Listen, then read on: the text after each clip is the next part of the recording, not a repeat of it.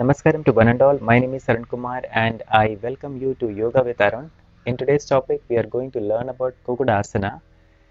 In Kukkutasana, there are so many advantages. It helps in um, um, it helps with your knee problems or it helps with your shoulder helps in strengthening your shoulder hands arm right wrist on those areas basically so here we try to come into Padmasana.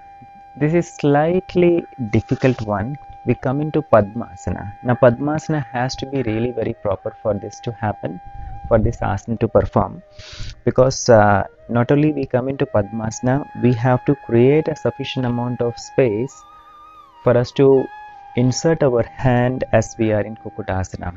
Okay, so we try to insert our hand from between from where you know from this area. After coming into padmasana we got a space or we have to create a little bit of space between your thigh and the calf muscle. If you can observe my thigh and uh, and then the calf muscle right? So of both the legs. So if you can hopefully you are seeing that right? So I try to insert my right hand from there and then the opposite hand also comes from there. Okay?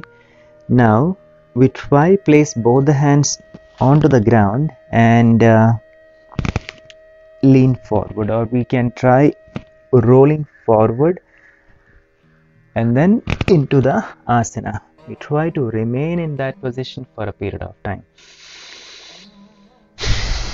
right? Slightly difficult one kind of but a little bit of flexibility is needed. But i will encourage you to do that.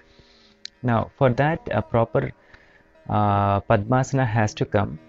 Padmasana when we when we try to do padmasana make sure that the padma the padmasana the aim of padmas padmasana should be I mean, uh, the placing of your feet should be very much closer to the abdominal region, but not on your leg thigh, but very close to the hip joint region. See that the heels of both the leg feet are kind of touching those area, right, right inside, so that you have sufficient room, so that you have sufficient amount of room for you to insert your hand. Okay, so